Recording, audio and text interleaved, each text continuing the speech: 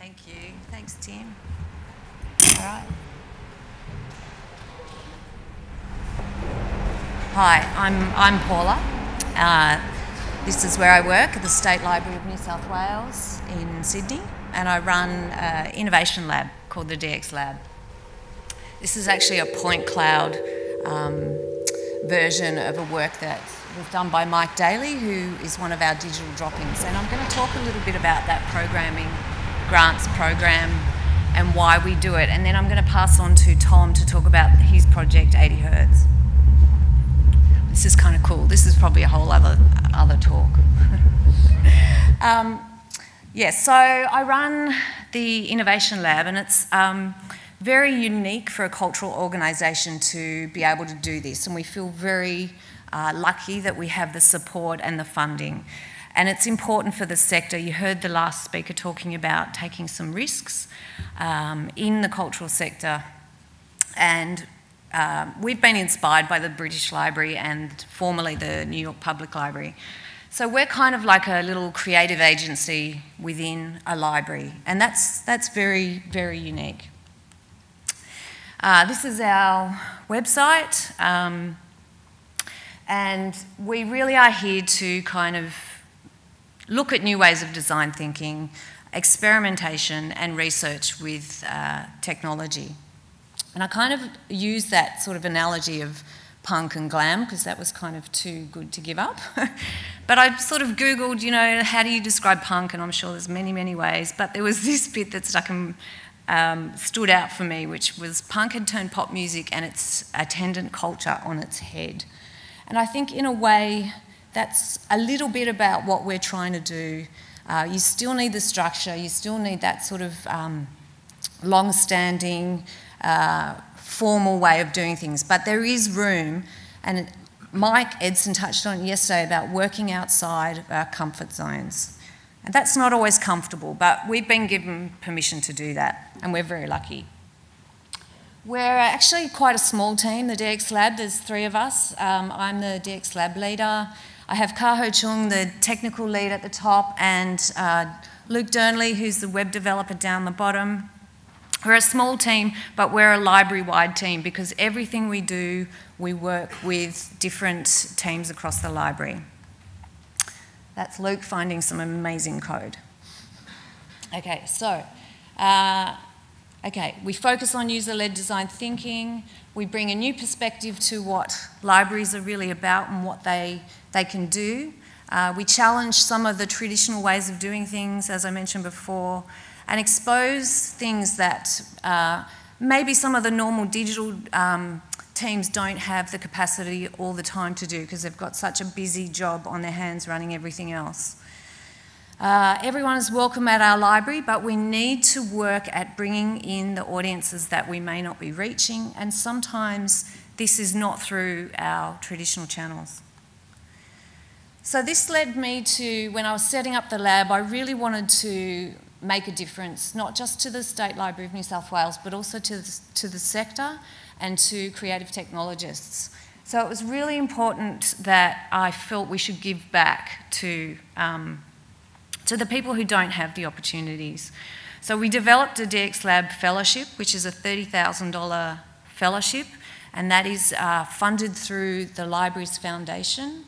And we would not be able to do this work if it wasn't through their support. Um, we also have a smaller scale uh, program which is called the Digital Drop-In. This is a $5,000 grant and it's a much shorter, kind of quicker sprint. And that's what that first point cloud data experience um, was under a, a drop-in. So we've had quite a number of people come and work with us because we believe that the best sort of innovation comes through uh, collaboration. That's why we do it. You know, um, we need to provide these opportunities for creative technologists who, who just don't have um, some of those funding opportunities. Um, they may not have some of the sort of connections that we have, but we have the collections. So this is a really exciting thing for them to be working with. They may not necessarily know what to look for, how to use it, uh, and get exposed to things in, in new ways. So, you know, we are funded, we're lucky. Um, we have permission to experiment, and that comes from the top of our organisation down. It is very much something that we are supported to do, uh, and um, we feel very lucky. So we give that back to other people through these opportunities. It's all about collaboration and using our collections and inspiring people to find and share our collections in new ways.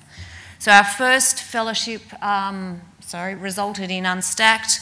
These fellows went on to uh, have um, sort of commercial arrangements with other libraries in Australia. So uh, it was fantastic for them to start an idea within a supportive environment within the DX lab and then go on to be commissioned outside of um, their work with us. So, due to the success of that first fellowship, uh, we were lucky to get funding for the second fellowship, and that was um, awarded to uh, Thomas Wing Evans. And his project was completely different to the first fellowship. We really wanted to make sure that we have kind of diversity in the kind of the, projects that we choose.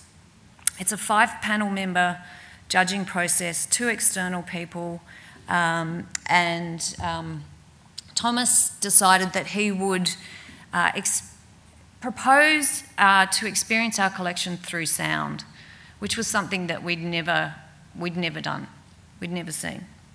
We've seen some commercial things around, but not cultural heritage.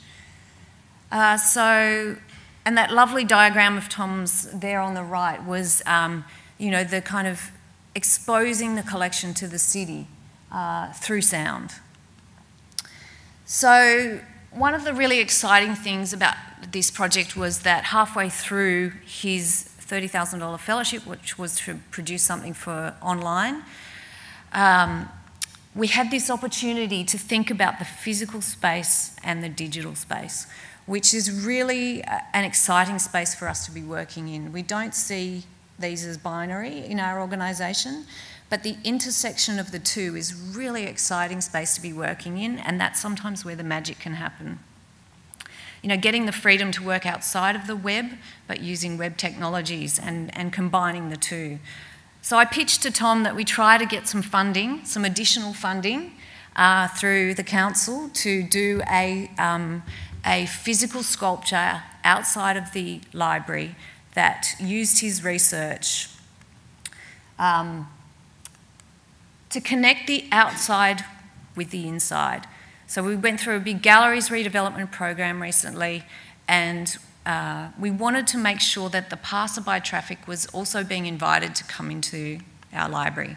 So we chose this space. Um, it's a very uh, a sort of visual space on Macquarie Street, very underutilised, beautiful space next to Matthew Flinders' statue, um, hardly ever used. This was uh, Thomas's original concept. Um, we did pitch it to the council uh, for some funding, but um, we failed due to a timeout on a server in the application process. anyway, that's a, that's a long story. But, but we, took, we didn't give up. We thought, okay, we've done all this work, let's keep going. So uh, we were lucky that our foundation took up um, this idea based on this drawing and some initial conversations. They were willing to take the risk with us. We had a very short turnaround time. We had a lot of challenges. Um, never assume the weather when you're making a electronic artwork that is slightly porous. um, we had very heavy rain. Uh, the budget was set. We couldn't go outside of the budget, but we were making something that we really had no idea, we'd never made before. Uh, we risked not getting permission from the council in time for our launch on the 4th of October, but we proceeded. We, we just really wanted to make this happen. We got permission. So tight turn, turnaround time. We had risks on multiple kind of collaborators while Tom was doing his research and design, uh, but we took them and the project has been extremely successful for the library. Now I'm actually going to hand you over to Tom, the creator, and he's going to go through the making of this with you. Tēnā koutou. So yeah, I'm Thomas. Um, I'm obviously the, uh, the most recent DX Lab fellow. Um, Paula calls me a creative technologist, which I still don't fully understand. I guess I'm just more of a, an enthusiast. So I'm just going to show you a snippet of video which summarizes the project, and then I'm going to unpack how we did it in three parts. So number one, extraction, so pulling the data out of the paintings. Number two, translation, turning that data into sound, and then fabrication, so how we built this physical experience around it.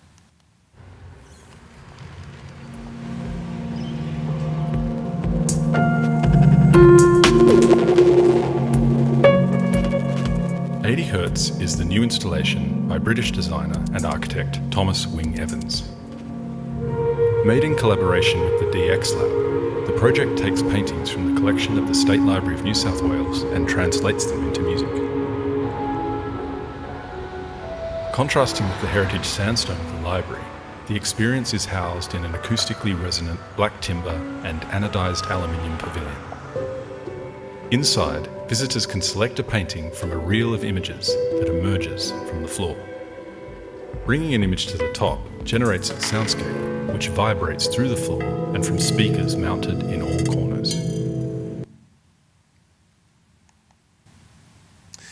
Okay, so for those of you who are unaware, the State Library has just opened a brand new gallery, actually a couple of galleries, so you should definitely go and check them out. Um, there's 300 paintings in one of the opening exhibitions uh, which detail all facets of Australian life and history.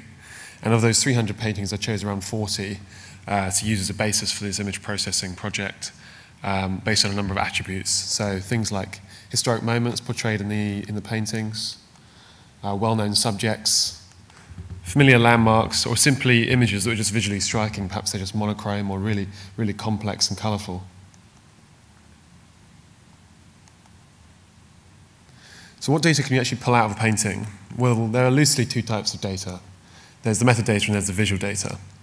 So when an image is digitized, as I'm sure you'll know, a host of information is attached to it, which enables it to be archived and accessed much more easily. Things like the library category, the date created, method of creation, and the painting dimensions. And then the visual data that we usually detect in person with our eyes can now also be extracted using image, image processing techniques. So things like the image tone, the face detection, image contrast, accent and dominant colors, and then the overall complexity of the image. So these are the two parameters that I worked with. And what you end up with is a list of values for each image. Each value will often fall into one of a range of groups. So for example, this painting is a size medium based on its dimensions relative to the other paintings. The image is simple in complexity as the main color palette is only made up of a handful of colors, so it's given a value of one and things like the, uh, the visual data, the way I actually extracted this was much more complex in the sense that the metadata you kind of can just collate into spreadsheets and it's re reasonably easy to kind of define rules for that. But the visual data was extracted using image, image processing, um, using APIs from the big bad corporations like Google and Microsoft, and then a few um, existing online experiments that I basically built upon.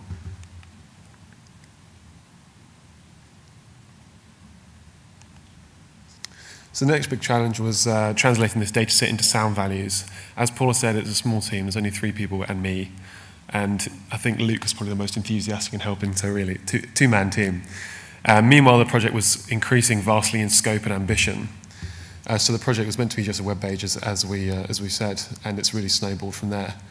Um, so we collaborated with Sonar Sound to develop the audio, audio generation framework.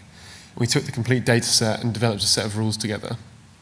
And then Sonar Sound worked in Max MSP to basically build a custom patch, a miniature program that could actually pass this information that I'd given them using the new rule, the new rule set that we'd created. So I just bring back the original values, this is how they translate as a compositional rule framework. So for example, the method of creation dictates the type of base tone, so whether it's painted oil on canvas or oil on board or watercolor, it's a completely different base tone. The accent and dominant colors determine specific chords in the scale, and the date of the painting affects how worn out and distorted the instruments sound. Some of the older paintings almost feels like you can hear the, the pianist moving around in his chair. If a face is detected, intelligent harmony is activated, which generates chord progressions based on Western principles of composition. So they sound more familiar, they sound more human, and if there isn't a face detected, then the, the, the chord progressions are much more randomized and feel more jarring. So we had in our minds that the audio would be recorded fresh from live instruments, which is probably really naive um, given our fairly um, uh, conservative budget. So the initial cost with Sonar for doing this original composition was just way too high for us. Um, so we, we basically went back to them and we decided together that, well, they've got this huge existing library of, of sound files they've used in other projects, things they've already recorded. So basically, we, we sampled from all these different sources that fitted the concept of each value. Guys, kind of like a weird form of DJing. And the advantages were actually like huge. So it gave the computer much more agency over how, the sound, over how it composed the audio and gave us less opportunity to impart our own biases and tastes about what the music should sound like. And it highlighted the glitchiness of the frame that we, we created.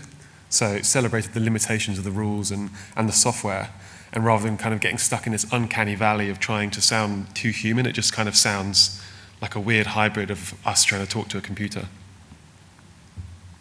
So here's a sample of some of the soundscapes. I'm just going to play through all of them just to give you an idea of the difference.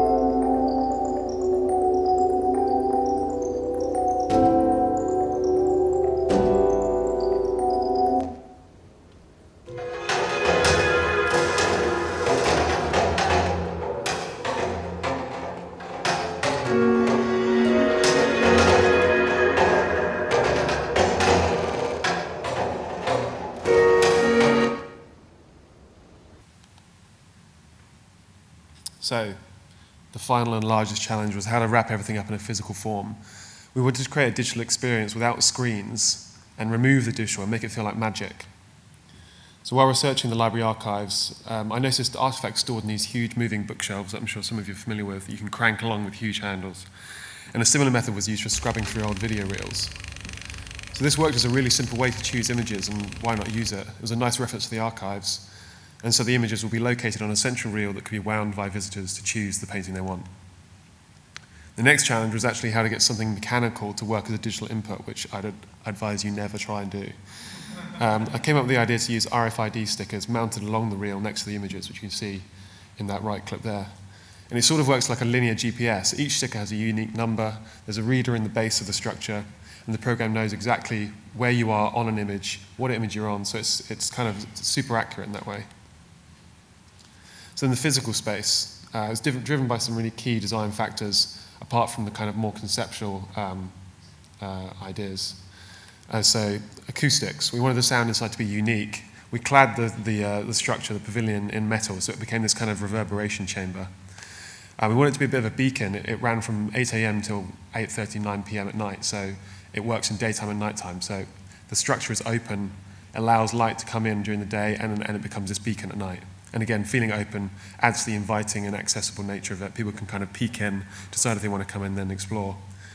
Had to, be, had to provide shelter. So it had to shed water, at least the majority of water, and protect the, protect the um, delicate electronics and mechanics.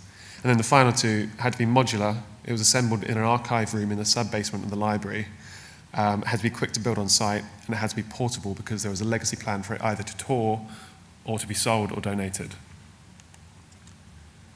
So those last two points were a real challenge, making it modular and portable.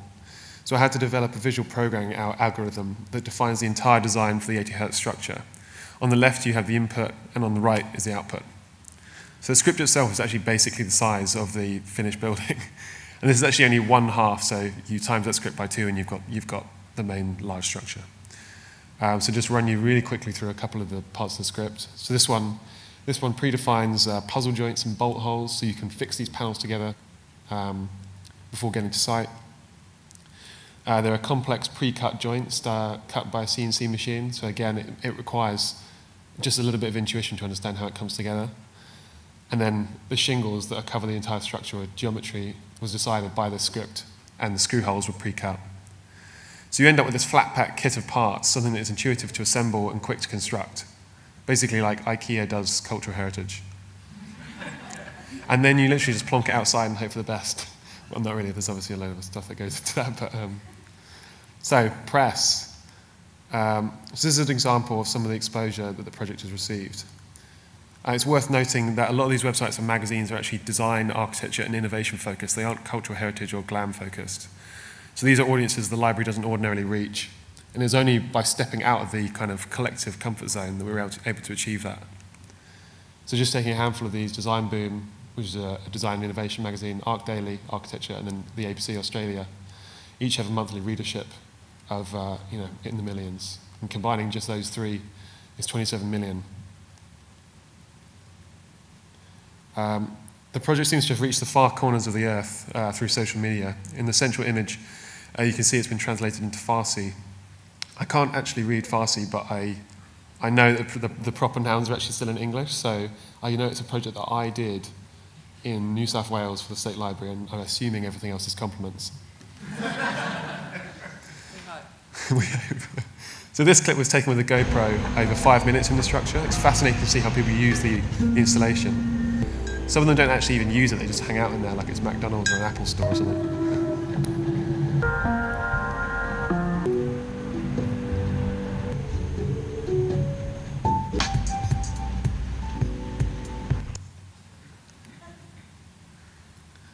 Uh, but like Adam Moriarty said in his brilliant talk yesterday, it's, it's not all about the numbers and the stats. engagement with the public was the most satisfying, satisfying part of this project, hearing what they had to say about it, especially if you didn't tell them you designed it and you just stood in there and listened. But ultimately, it's, it's obviously because it's an experience designed for everyone to enjoy. This, oh, this is a slide that Paul hasn't actually seen. Um, so first and foremost, this project is a celebration of the physical artifacts in the library's collection. The working process, the analysis, the sound generation are all digital. And then the fi finished result is a hybrid of the two, so it's digital and physical. So I thought it was only fitting to take it one step further and appeal to the, type, the hipster types and the pretentious millennials like myself and turn the physical paintings that became digital soundscapes, that became a hybrid experience, back into pretentious vinyl. Um, so yeah, we've got, a, we've got a few of those. Thank you very much.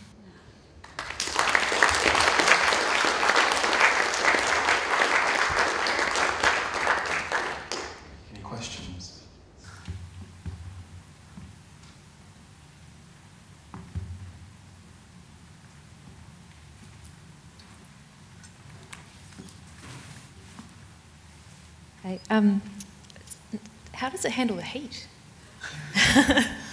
how does it handle heat? It's actually fine in there. It's, um, I think, well, it's under these two huge, amazing fig trees that kind of create this like natural arch over it. Um, so it's not so much the heat we have to worry about; it's the bat and bird guano. Um, so it's it's pretty good at keeping that off. Uh, the only problem we had with heat was actually the the some of the LED lights inside the central podium had been on literally, it was originally run, the run was for three weeks and then it got extended another month. So it was basically two months of this light being continuously on. It never got switched off. So that suffered a bit and we had to replace that. But um, other than that, it's quite nice, light and airy there.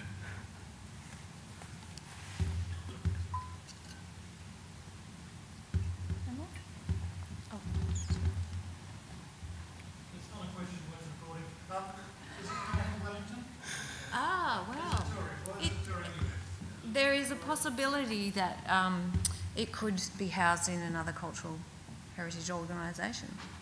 We would rather sort of see, uh, from a sort of sustainability point of view, this structure be kind of um, enjoyed more um, in other places because we actually don't have enough storage space to keep it is transportable. It is actually still up, but it's coming down this end of this week. Yeah. Yeah, two days. What's that, sorry? There's been many talks about We're thinking about, yeah, different options.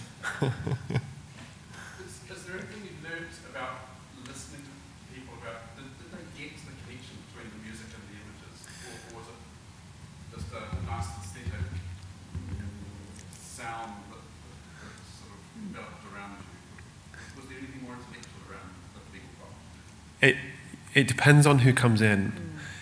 If they're under like three foot tall, they love just winding it around. Um, but if they're over four foot tall, there's, you get a range of people. You know, you get some people who come in, they just want to experience the soundscape, feel the vibration in the floor, and see some pictures, and that's it. And then you get some people who are honestly in there for like 30 minutes, and they've closed the door and they're not letting anyone else in. They're just sitting there like trying to play it like an instrument. And I think you can kind of get a bit more of a nuanced understand of it, understanding of it that way.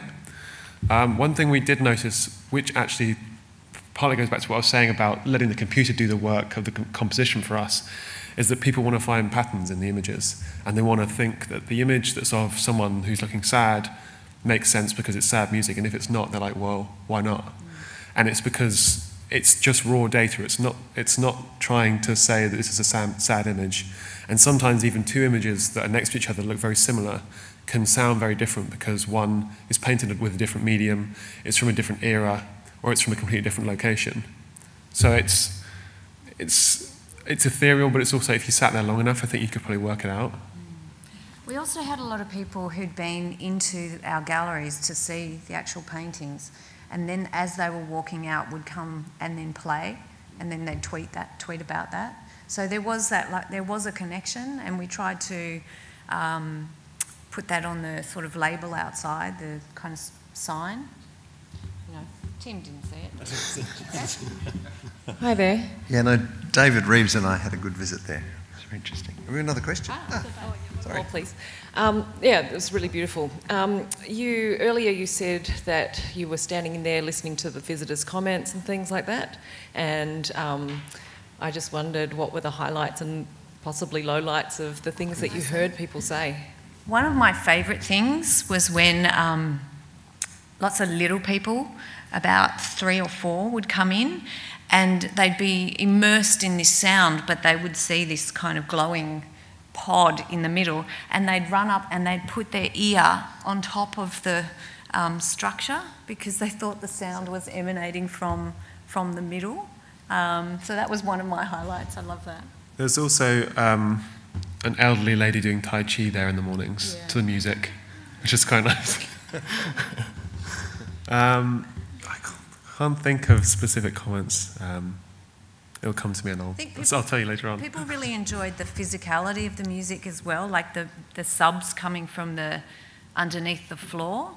So it wasn't just hearing, but it was also kind of feeling, feeling the, um, the sounds. Yeah, yeah, that was nice. There's also multi-channel audio, so depending on where you stood, there was one, two, three, four speakers and then two subs, so you could actually move around and feel the vibration or walk to the other side and you'd hear a completely different sound. So it, became quite a spatial um, experience as well.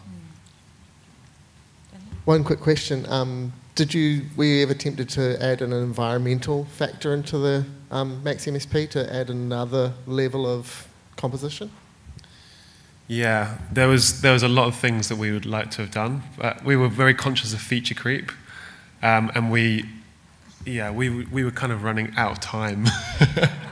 um, yeah, I mean, we talked about um, potentially having the music actually changing throughout the day. So depending on the time of day, depending on the weather, uh, the audio would change. But um, maybe that's um, some ideas for another project later on down the line.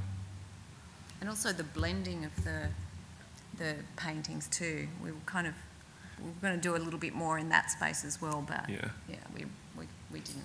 Yeah, so the so the RFIDs that line next to the images, there's there's eight per image, but Luke Dearnley from the, the DX Lab did, did this amazing thing where he averaged between them, so he basically doubled the amount of data points he had. So it was really accurate, which meant that you could play get to the center of an image and then play just off of it and it would warp and sound different. And then if you went completely off of it it started melding between the two images. So you ended up with this weird hybrid of the two images soundscapes which is quite cool. You didn't mention the other little structure that was next to it there's, an, there's another structure as well but I felt like we weren't going to have enough time to talk about both of them but it's a, it's a smaller one that's like all black and you sit in it and then it projects on the floor in front of you. Um, and that one is much more kind of like passive. You basically sit in it, the images scroll past, and the, and the soundscape changes. There's two embedded speakers above you, and you sit in there with friends and enjoy it that way. That's where the lady was doing her Tai Chi in front of that little structure, mm. which was lovely. Which is also available to tour. It might be auctioned and it's available for sale. So. Thanks very much. That was great.